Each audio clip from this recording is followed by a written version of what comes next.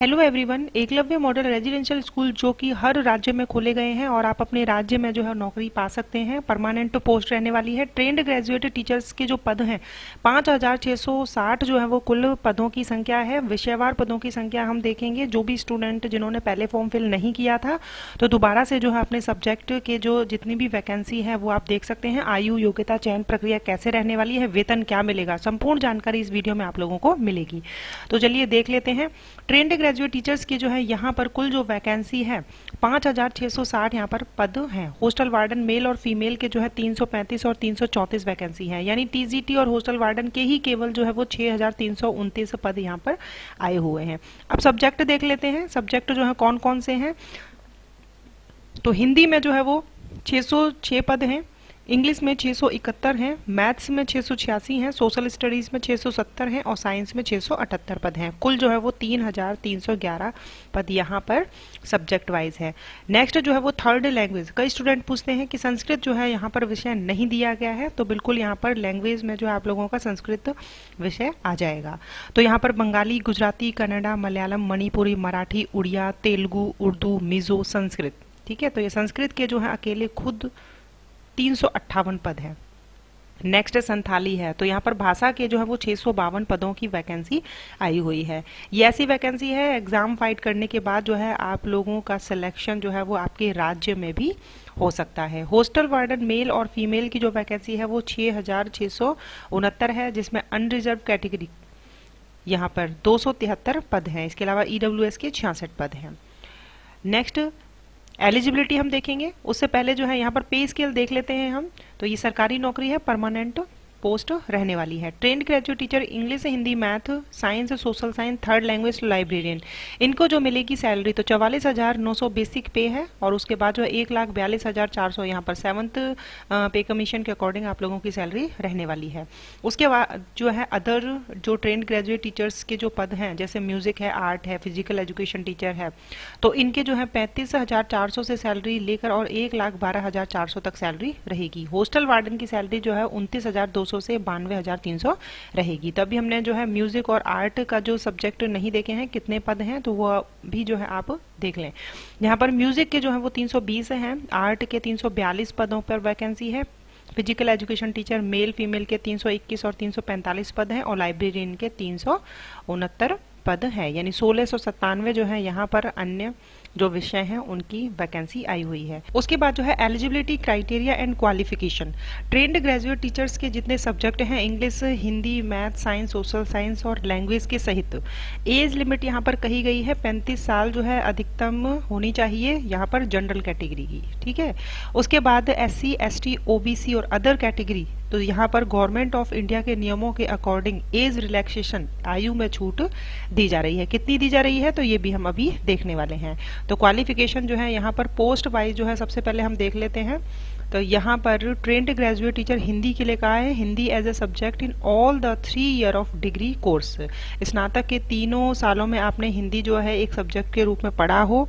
English के लिए अगर आप अप्लाई करेंगे तो इंग्लिश आपने पढ़ी हो तीनों साल। मैथ्स के लिए अगर आप अप्लाई करेंगे तो यहाँ लिखा है कि बैचलर डिग्री में आपके मैथ के साथ में जो है physics and any one of the following subject जैसे केमिस्ट्री है इलेक्ट्रॉनिक्स है कंप्यूटर साइंस है स्टैटिस्टिक है, ये सब्जेक्ट आपके होने चाहिए। ठीक है? नेक्स्ट साइंस के लिए आप देख सकते हैं बॉटनी जूलॉजी केमिस्ट्री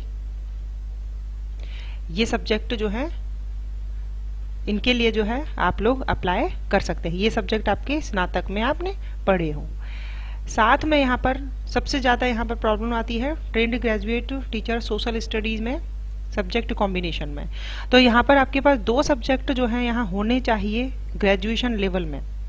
या तो हिस्ट्री के साथ में जोग्राफी हो, या हिस्ट्री के साथ में इकोनॉमिक्स हो, या हिस्ट्री के साथ में पॉलिटिकल साइंस हो, ठीक है? जोग्राफी अगर आपके पास रही है, स्नातक में जोग्राफी के साथ में हिस्ट्री है, या इकोनॉमिक्स है, या जोग्राफी के साथ में पॉलिटिकल साइंस है, या आपने पढ़ी हो तो यहाँ पर दो सब्जेक्ट जो हैं, वो आप लोगों के हिस्ट्री या जोग्राफी के साथ में मांगे गए हैं। या फिर हिस्ट्री या geography as of should have been study for all three year in the graduation या फिर स्नातक में आपने हिस्ट्री और जोग्राफी तीनों साल जो है एक साथ पढ़ी हो। यहाँ पर लिखा है in case of honours degree in history the candidate should have study geography economics political science in any of the two year of the course ठीक है? तो जो भी ऑनर्स uh, डिग्री वाले हैं हिस्ट्री में तो उन्होंने जोग्राफी इकोनॉमिक्स पॉलिटिकल साइंस जो ये दो सब्जेक्ट जो हैं वो पढ़े होने चाहिए। तो ये तो सब्जेक्ट हो गए। थर्ड लैंग्वेज यानी भाषा में यहाँ पर कहा है कि जो आपकी भाषा है जैसे संस्कृत भाषा है तो आपने तीनों साल स्नातक में पढ़ी होनी चाहिए। स्नातक में जो है, बता दिया कि तीनों साल जो है जो है सब्जेक्ट वो आपको पढ़ा होना चाहिए, जिसके लिए आप अप्लाई करेंगे। उसके बाद जो है यहाँ पर सी टेट पेपर टू आपका क्वालिफाई होना चाहिए। बीएड की डिग्री जो है वो साथ में होनी चाहिए। म्यूज़िक के लिए आप देखें, यहाँ पर 35 साल उम्र है और एज रिलैक्सेशन है बिल्कुल। क्वालिफिकेशन बैचलर डिग्री आपकी म्यूज़िक में होनी चाहिए। आर्ट्स के लिए जो है क्वालिफिकेशन डिग्री आपकी फाइन आर्ट या क्राफ्ट में होनी चाहिए या फिर बीएड डिग्री जो है फाइन आर्ट में मांगी गई है। फ़िज़िकल एजुकेशन टीचर्स के लिए यहाँ पर बैचलर डिग्री फ़िज़िकल एजुकेशन में होनी चाहिए। लाइब्रेरियन के लिए जो है यहाँ पर लाइब्रेरी साइंस में डिग्री मांगी गई है या फिर ग्रेजुएशन के साथ में एक साल का अगर आपके पास लाइब्रेरी साइंस का डिप्लोमा है तो भी आप एलिजिबल हैं, फॉर्म फिल कर सकते हैं। हॉस्टल वार्डन के लिए उम्र वही है, पैंतीस वर्ष है।